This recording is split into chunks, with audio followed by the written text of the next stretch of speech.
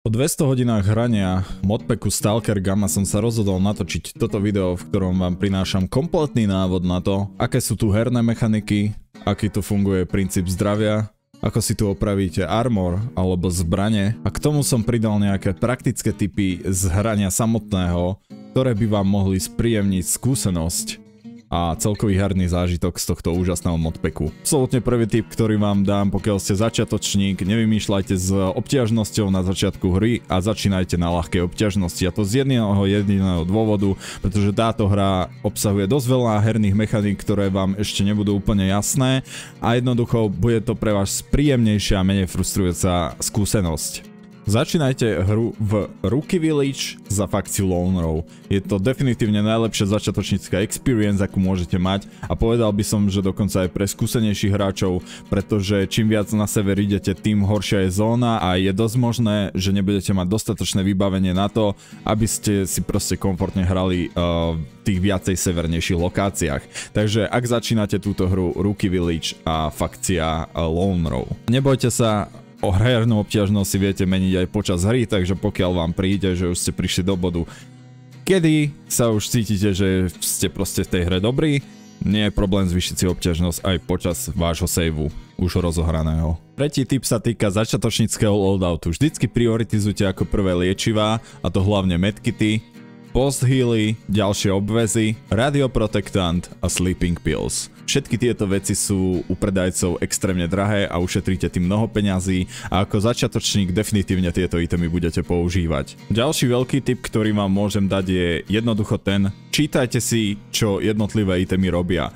Každý item má nejaký svoj popis, tak strávte čas tým, že si aktuálne prečítate, na čo ten item je, na čo slúži, a na čo sa používa a tak čo sa dá z neho kraftiť, pretože tieto informácie sú definitívnym základom v tejto hre a pomôžu vám pochopiť to, o čo sa vlastne jedná. V game si musíte manažovať svoj hlad, svoj smet a svoj spánok. Čo sa týka smedu a vody, Voda je item, ktorý môžete buď nájsť alebo kúpiť. Nedá sa kraftiť ani nejako získať. Jedlo, hlavne zo začiatku hry budete kupovať, ale časom, keď budete mať už nejaké mutantské meso, môžete použiť Field Cooking Kit pri ohni, kliknutím pravého tlačítka stlačíte Use a všetko meso, ktoré máte vo svojom inventári sa vám ukáže a môžete si ho prevariť. Toto meso obsahuje viacero receptov, jeden z vylepšených receptov berie vodu a ponúka vám za ňu viacej kalórií a menej radioaktivity,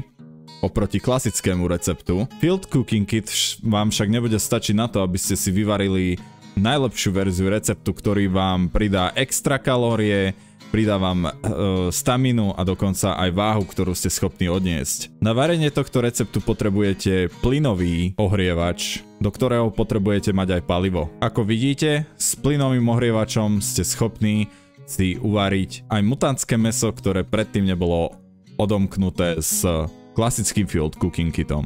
Ďalší dobrý tip, ktorý vám môžem dať, je ten, že keď prejdete na hoci ktorý item, ktorý máte v inventári, a s ním súvisia nejaké ďalšie inventáry, tak vám to v tomto inventári highlightne modrou farbou. To znamená, všetko, čo je modrou počiarknuté v jednotlivom inventári, znamená, že je to kompatibilné s tým itemom, ktorý, na ktorý sa práve pozerám.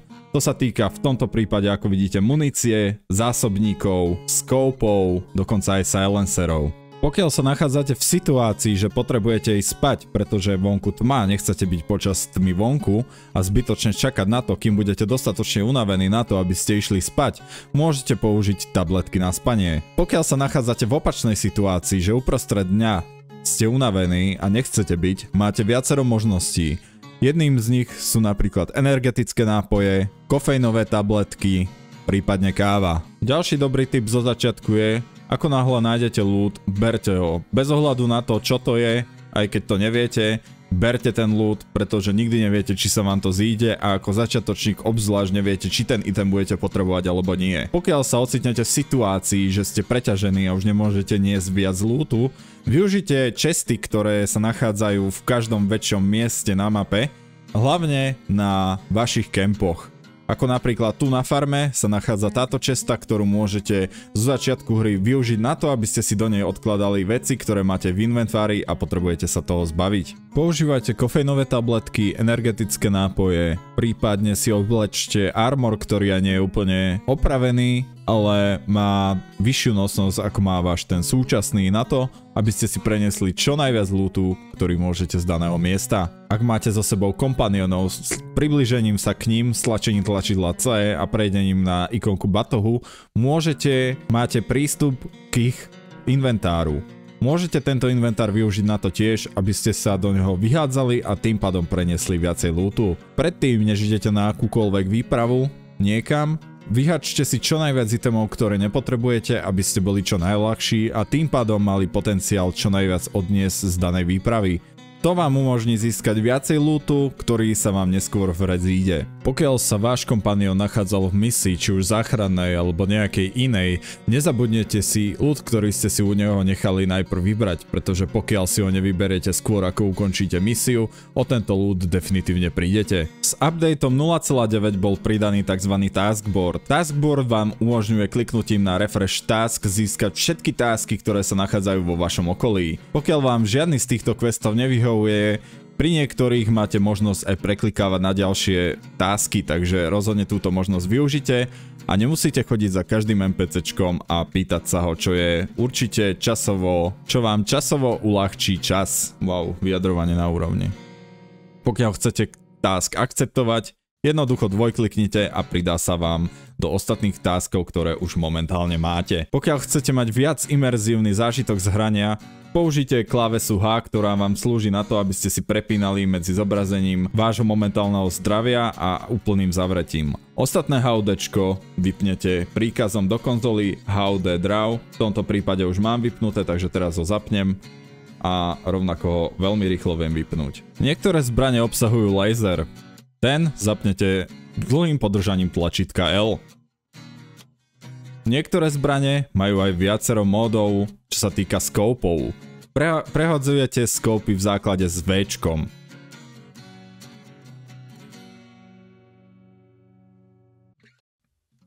Pokiaľ máte lacnú myšku ako ja, ktorá nedokáže snímať viac ako 3 inputy naraz, nemôžete tým pádom ani zoomovať. V tejto hre môžete využiť tzv. free zoom, ktorý vám umožňuje ešte viac priblížiť target, aj keď nemáte úplne scope na to. Metóda, ako som toto docielil je tá, že nastavenia controls a general som si togglol aim mode. Čiže stlač, stačí už len, že iba raz kliknem a zostane mi zbra namierená a tým pádom mám jeden voľný free input na to, aby som mohol priblížiť a zároveň strieľať so zbraňou. Keď už sme pri controls, odporúčam vám, aby ste mali crouch, walking a sprinting všetko na toggle. A to z jedného dôvodu, pretože keď v tejto hre slačíte CTRL, čiže prejdete do čupnutia a slačíte Shift, čo je obyčajne walking, tak zrazu viete ležať a ísť po ležiačky čo vám rozhodne v niektorých situáciách a súbojoch pomôže. Teraz prejdeme na topik zdravia. V Stalker Gamma máte okrem HPčiek aj HPčka končatín. A vidíte, že v tejto situácii Mám polovicu HPčiek a zranenú hlavu. Na to, aby som si túto hlavu vyliečil, musím použiť metky, pretože obvezy nie sú dostatočne dobré na to, aby mi liečili aj hlavu. Momentálne mám žltú časť hlavy vyznačenú.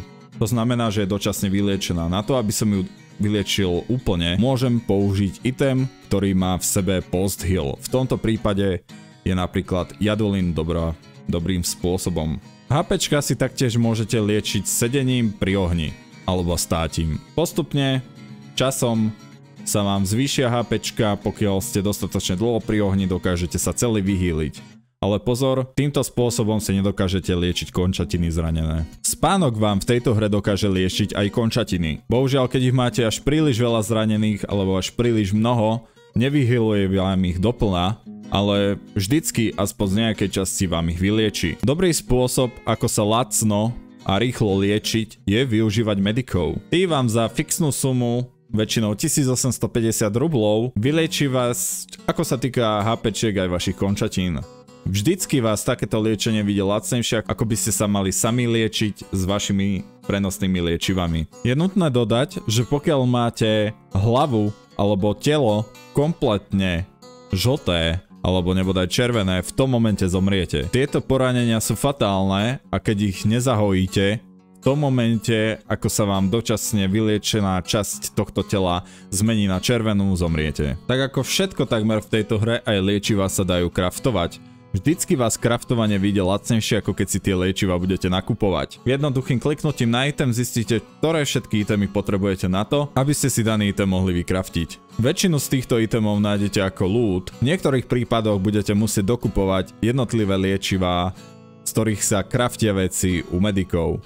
Avšak toto vás vždycky vyjde lacnejšie, ako keby si máte kupovať rovno celé medkity. Pokiaľ neviete určiť, ku ktorej fakcii patrí dané NPCčko, prejdite s kurzom na neho a dole v rohu vidíte ikonku jeho fakcie. Bohužiaľ, v hre nie je žiadny spôsob na to, ako by ste mohli povedať priamo, o akú fakciu sa jedná a preto si budete musieť troška naučiť tieto ikonky fakcií, ku ktorej jednotlivej fakcii patria. PDAčku v tabe Relations môžete si potom pozrieť, aké vzťahy majú jednotlivé fakcie medzi sebou a či dané NPC je vašim priateľom alebo nepriateľom. Keď už sme pri Relations, je dôležité vedieť o Goodwille. Goodwill je váš vzťah danej fakcii.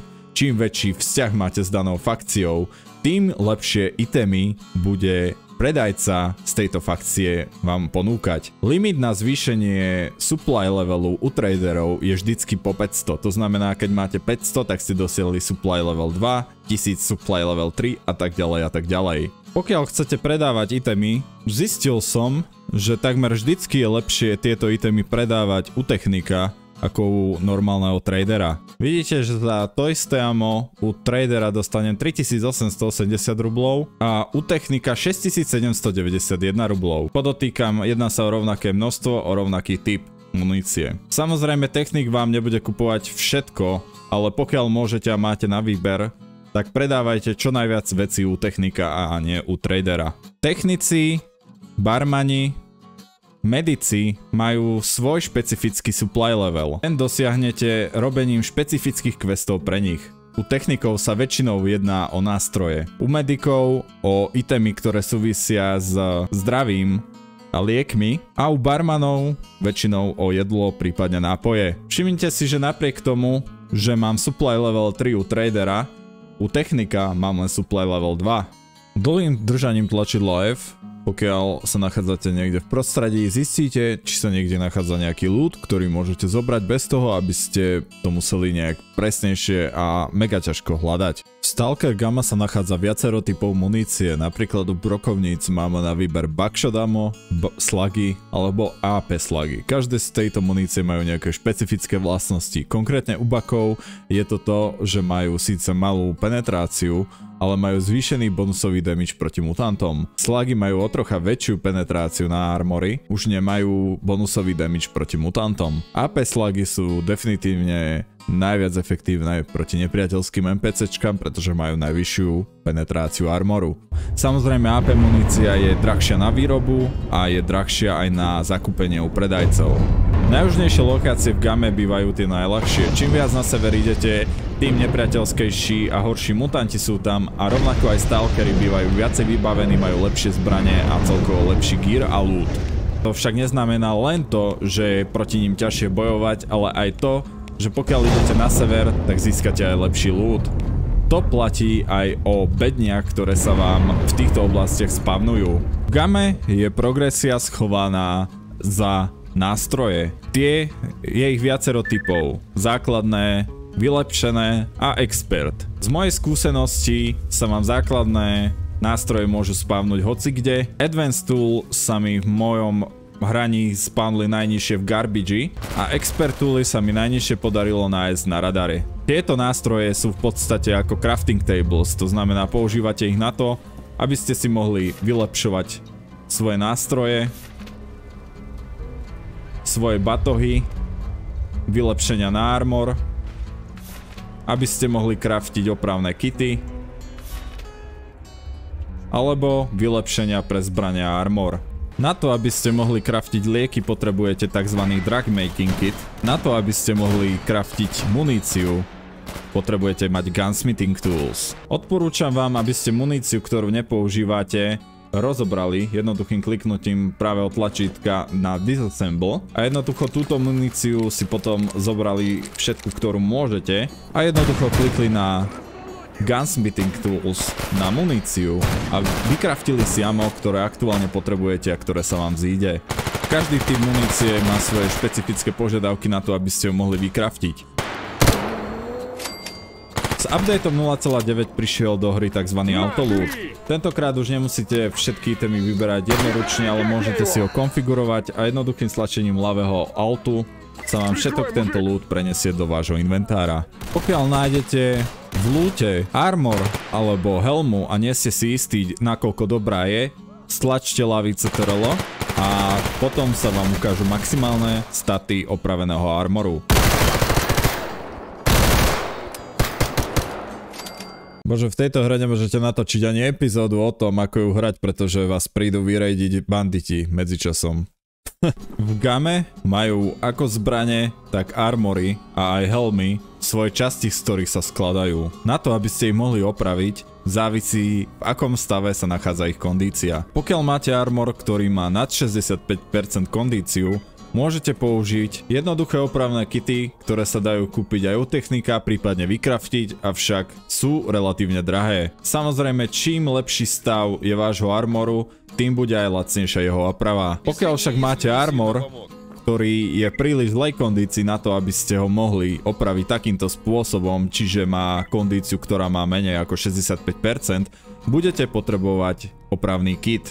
Na to, aby ste sa dozvedeli, aký opravný kit potrebujete, stačí kliknúť na detaily a v popisku vidíte, že sa dá opravovať tento konkrétny armor s médiovým opravným kitom. Tieto opravné kity buď získate vylepšením u technika, jeho vyle, vy, vylevelovaním a následne ich bude predávať, alebo alternatíva oveľa lepšia lacnejšia je tieto veci si vykraftiť. Stačí jednoducho prejsť do vášho kvázi crafting table, kde vidíte, že medium opravný kit na armor môžeme vykraftiť z týchto komponentov a potrebujeme naň Advanced Tools. V tomto prípade nám chýba 85-kový opravný kit na to, aby sme si mohli vykraftiť medium kit. Následne som si schopný vykraftiť 85-kový opravný kit a z neho môžem vykraftiť medium opravný kit. Keď mám medium opravný kit vykraftený, prejdem sem na značku oprava, prejdem si na ten pancier, na ktorý som pozeral predtým a vidíte, že momentálne tu máme zoznam komponentov, z ktorých sa skladá. Kliknutím na jednotlivé komponenty jednoducho zvolím najlepšiu kvalitu, ktorú momentálne mám a vidíte, že z itemov, ktoré som mal v inventári sa mi podarilo poskladať 85% kvalitný armor. Keďže tento armor má už 85%, Môžem použiť tento opravný kit na to, aby som ho opravil kompletne. Mimochodom tieto masky nezahádzujte, pretože ako vidíte pri opravovaní armoru alebo čistení zbraní, vám zvyšujú efektivitu daného prostriedku. Každý armor má určité množstvo attachmentov, ktoré môžete naň pripevniť. Tieto attachmenty buď nájdete, získate z misií, zakúpite si alebo si ich vykraftíte. Jeden z týchto attachmentov je napríklad tento, ktorý nám umožňuje niesť opäť 2,5 kg viac a plus má ešte nejaké ďalšie bonusy. Pravým kliknutím tlačítka môžem kliknúť na Attach to Belt, prípadne jednoduchým preťahnutím priamo do, sl do slotu. Zbrane sa opravujú veľmi podobným spôsobom. Kliknete si na detaily, zistíte aký opravný kit potrebujete, vykraftíte si potrebné komponenty, ktoré na jeho opravu potrebujete a následne kliknite tiež na tlačítko opravy, na zbraň, ktorú chcete opraviť Pozriete sa, či máte komponenty na výmenu.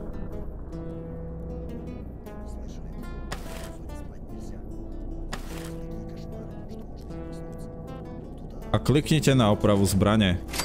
Tým, že ste vymenili komponenty, sa vám aj zlepší kvalita tej zbrane. Je dôležité udržiavať si celkovú kondíciu ako aj stav vnútorných komponentov zbrane, pretože to ovplyvňuje, či sa vám táto zbraň napríklad zasekáva a podobne. Keď máte poškodený barel, dokonca vám klesá penetrácia a poškodenie. Pokiaľ sa nachádzate v podobnej situácii, že už nemáte viac itemov, alebo viac weapon častí na to, aby ste si vymenili túto konkrétnu zbraň, potom môžete použiť tieto malé opravné kity. Stačí, že ich máte v inventári a pravým kliknutím na vašu zbraň a na tlačítko Maintain Parts uvidíte, že môžete čistiť celú zbraň. Pokiaľ si nie ste istí, ktoré časti zbrane potrebujete opraviť, kliknite znova na zbraň, kliknite na field strip a pozrite sa, ktoré z vašich častí zbraní sú na tom najhoršie. V tomto prípade vidíme, že Bolt a Bolt Carrier sú na tom najhoršie, respektíve Bolt je na tom úplne najhoršie. Preto kliknem na Mate and Parts, na Replace Bolt. Síce to spotrebuje jednu, uh, jedno použitie z tohto opravného kitu, ale vidíte, že v tomto prípade už mám namiesto 26% 99%. To isté môžeme spraviť aj s Bolt kariérom. Čiže vidíte, Bolt kariér je na 69%, keď kliknem na zbraň a Mate and Parts, Clean Bolt kariér a bum, máme takmer 100% a čistú zbraň. Samozrejme, existuje viacero spôsobov, ako si môžete opraviť zbraň, napríklad jeden z nich je Part Repair Kit, ktorý vám umožní opraviť akúkoľvek časť zo zbrane Háčik to má, že tento opravný kit je extrémne drahý a z môjho hľadiska sa neoplatí. Ďalší spôsob, ako čistiť weapon party relatívne lacno, je použiť file. Bohužiaľ na to, aby ste mohli použiť na file na opravovanie a čistenie weapon partov, musia mať viacej ako 50%. V tomto prípade to môžeme použiť na vyčistenie K a von modu. Takže jednoducho field stripnem tieto dve časti, následne si kliknem na file a vidíte, že ich mám tu a sú pripravené na čistenie. Jedným kliknutím dosiahnem 94% a druhý môžem vyčistiť úplne. Následne tieto party len hodím naspäť a mám takmer čistú zbraň. Pokiaľ nájdete zbraň, ktorá má extrémne dobrý barel, nemusíte si s tým robiť starosti a v podstate ste vyhrali, pretože tieto menšie weapon party, tie 4 na tej pravej strane okrem barelu, sa dajú vymeniť aj bez opravného kitu. Vidím, že inventári mám 7 LA, ktoré pasuje, mám double mody, ktoré pasujú, však vidíte, že momentálne nemám žiadny opravný kit na sebe.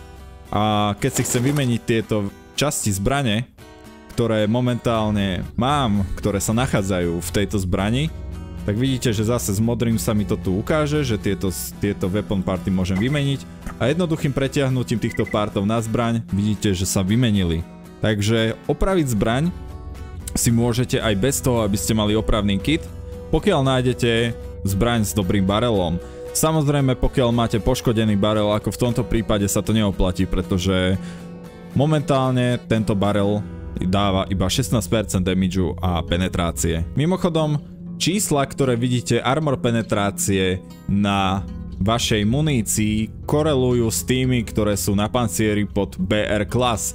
To znamená, pokiaľ ja mám armor, ktorý má 33 BR class, znamená to to, že všetky projektily alebo munícia, ktorá bude na mňa strieľaná s menším, s menšou penetráciou ako je 33, znamená, že neprejde a bude dávať menšie poškodenie. To znamená, keby ľudia po mne strieľali slagy z brokovnice, ktoré majú 23 penetráciu, tento armor ich zastaví. Avšak ako náhle sa nájde zbraň, ktoré má väčšie číslo, tak samozrejme prechádza tam k prestreleniu a už je aplikovaný plnohodnotný damage. Mimochodom, opravujte si a sledujte si v akej kondícii sa nachádza váš pancier. A to z dôvodu, že čím nižšia kondícia, tým menej efektívnejší pancier je. Ako vidíte, tento pancier je 81% kondícii a momentálne má 22 BR class. Keď kliknem na CTRL, tak má 27, čiže v plnej kondícii má tento pancier 27, čiže o 5 takmer BR class prichádzam len tým, že som si tento armor neopravil. Posledným updateom v game prišla nová mechanika, kde si zariadenia a všeobecne aj vaše vybavenie musíte odomýkať s receptami. Momentálne napriek tomu, že mám všetky potrebné nástroje, si nemôžem vykraftiť tieto veci, pretože som sa ich ešte nenaučil. Tieto recepty nájdete u technika alebo tradera, samozrejme za nejaký poplatok. Potom, čo si ich kúpite, ich musíte prečítať. A následne ste schopní už dané veci vykraftiť, samozrejme pokiaľ máte jednotlivé, mater- jednotlivé nástroje a aj materiály na kraftenie tej veci, ktorú požadujete. Jednu z prvých vecí, ktorú vám odporúčam vykraftiť, je tento Portable Workshop. Potrebujete naň len wooden parts a metallic scrap.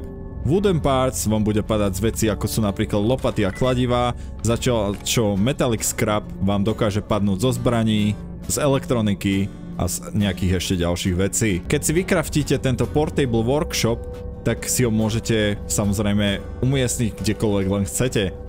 Keď kliknem F, vidíte, že Use Workshop, Access Stash, čiže môžem vlastne mať prístup k inventáru, ale čo je dôležité je to, že pokiaľ používam nejaké nástroje, ktoré momentálne potrebujem, tak nemusím si všetko premiesňovať do svojho vlastného inventára, aby som k tomu mal prístup, ale hra mi už automaticky ukáže, koľko mám v danom inventári veci a či danú vec môžem kraftiť. Počas súbojov používajte tlačidla F1, F2, prípadne aj F3 a F4 na to, aby ste sa liečili. Dokáže vám to ušetriť potrebné sekundy, ktoré môžu rozhodovať o tom, či prežijete alebo nie. Hru si ukladajte veľmi často, za každým keď môžete. Najčastejšie to bude pri ohni, hru si však môžete ukladať kdekoľvek na priateľskej báze, prípadne v podzemí, alebo stlačením tlačidla Shift F5 máte garantovaný každých 5 minút od posledného uloženia tzv. Daddy token, čiže keď sa nachádzate vonku a potrebujete si uložiť hru a nemáte kde, tak stlačte Shift F5 a pokiaľ prešlo 5 minút od posledného uloženia, tak si môžete uložiť hru aj mimo týchto vecí, ktoré som spomenul predtým. Predtým, než prichádza emisia alebo Psystorm, sa začnú na sa začnú v oblohe zgrupovať vrany, ktoré začnú škriekať. Toto škriechanie je vážne intenzívne a od neho máte cca asi minútu na to, aby ste si našli ukryt pred emisiou alebo danou spomenutou Psystorm. Prichádza práve emisia alebo Psystorm, pretože je počuť vrany a keď je počuť vrany, tak sa treba ísť rýchlo schovať. Keď emisia Psystorm skončí, tento quest sa vám updatene a vtedy už môžete vyliesť von. Nejaké typy s súbojom proti mutantom, pokiaľ môžete, vždycky si nájdete nejaký cover, pretože za takýmto ukrytom je oveľa jednoduchšie s týmito mutantami bojovať. Ideálne si nájdete vyvýšené miesto. Dávajte si pozor na niektoré typy mutantov, akými sú napríklad Larker, alebo Chimera, pretože títo mutanti vedia skákať. Avšak predtým, než idú skákať, majú cca dvojsekundovú animáciu, kedy sú zaseknutí. Využite tento čas na to, aby ste sa vyhli do strán a tým pádom vyhli aj ich kompletnému útoku. Pokiaľ sa nachádzate na otvorenom priestore, využite dodžovanie na poslednú chvíľu. Pokiaľ vidíte, že sa na vás rúti nejaký mutant, tak zostaňte na mieste, strieľajte na neho pokiaľ môžete a poslednú chvíľu, nejakú sekundu alebo dve predtým, než je pred vami, sa uhnite skokom do strany a tým pádom dočnete jeho útok. Čo sa týka súbojov s nepriateľskými stalkerami, samozrejme NPCčka na vás budú útočiť na posledné miesto, na ktorom vás videli alebo počuli strieľať. Využite túto hernú mechaniku k tomu, aby ste striedali uhly, z ktorých útočíte na nepriateľské NPCčka, pretože tie na vás takmer vždycky začnú v skupinách útočiť, idú z rôznych uhlov a jednoducho nenechajte sa obklúčiť týmito NPCčkami a preto striedajte často pozíciu, z ktorej strieľate, aby ste tomuto zabránili. Questy si plánujte tak, aby ste ich vždycky mali po ceste. To znamená, neberte questy len tak úplne náhodne, ale povedzte si, že OK, napríklad dneska idem do Jantaru a nachádzam sa momentálne v Kordone, tak pýtajte sa ľudí tak, aby ste vždy tieto questy mali po ceste, to znamená, dajme tomu Garbage, Agroprome, prípadne aj Rostoku. Všetko toto sú miesta, ktorých môžete ísť okolo, aby ste sa dostali do Jantáru a tým pádom tieto questy po ceste aj splniť. Je dôležité, aby ste nebrali každý quest, na ktorý natrafíte, pretože ak osoba, od ktorej ste tento quest zobrali, zomrie, tak vám klesne vzťah s danou fakciou, v ktorej sa daná osoba nachádzala. Avšak nebojte sa brať questy, ktoré vám zaberú dlhší čas od osôb, ktoré sú vyznačené na minimape ako important characters. Tieto osoby takmer vždycky majú imunitu voči útokom či už nepriateľských stalkerov alebo mutantov a tým pádom takmer vždycky prežijú. To znamená, že questy, ktoré od týchto ľudí zoberiete sú takmer vždycky bezpečné. Posledný tip, ktorý uvedem v tomto videu sa týka množstva mutantov a stalkerov. Podľa môjho názoru v základnej game sa nachádza až príliš málo mutantov a nepriateľských stalkerov. Na začiatku uh, sú tieto hodnoty okolo čísla 0,5. Ja momentálne fungujem na týchto číslach s môjim počítačom. Som schopný mať v priemere okolo 80 až 100 fps, závisí na danej lokácii s týmito nastaveniami. Tieto nastavenia mi umožňujú, že súboje s mutantami sú oveľa náročnejšie a zábavnejšie, pretože ich je viacej v skupinách a rovnako nepriateľských stalkerov je oveľa viac na mape. V základe vám hra spavnuje približne 400 stalkerov, 400 až 500 na celej mape. Toto nastavenie vám ich spávne približne 800, 900, možno až 1000. Závisí to od faktorov, ktoré mne nie sú známe. Samozrejme toto spávnovanie má svoje limity, preto to s ním nepreháňajte, pretože je veľmi intenzívne na váš procesor a vzhľadom k tomu, že táto hra beží na 2007 engine, ktorý to nezvláda úplne najlepšie, tak som zistil, že toto je taký ten zlatý stred minimálne, čo sa týka mňa a môjho počítača a jeho výkonu na to, aby táto hra fungovala plynule a dobre. Takže to by bolo všetko, čo sa týka z mojej strany tejto hry. Dúfam, že tieto tipy vám pomôžu a zlepšia vám vašu celkovú skúsenosť s hraním Stalker Gamma. Takže to je všetko, čo sa týka mňa. Uh, pokiaľ vám toto video pomohlo, dajte like. Pokiaľ vás napadajú ešte nejaké tipy, ktoré som tu nespomenul, napíšte ich do komentárov a v neposlednom rade budem vďačný za každý odber. V súčasnosti aj natáčam Stalker Gamma sériu, kde tieto tipy a triky môžete vidieť uvedené v praxi. Ďakujem za zhľadnutie tohto videa a teším sa na ďalšie. Zdraví vás Tom, majte sa a čaute.